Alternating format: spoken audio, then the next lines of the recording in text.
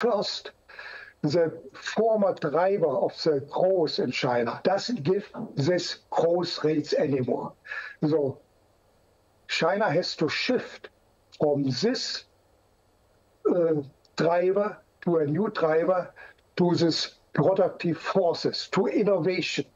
Second, China was before the workshop for the world. This is China today, not anymore.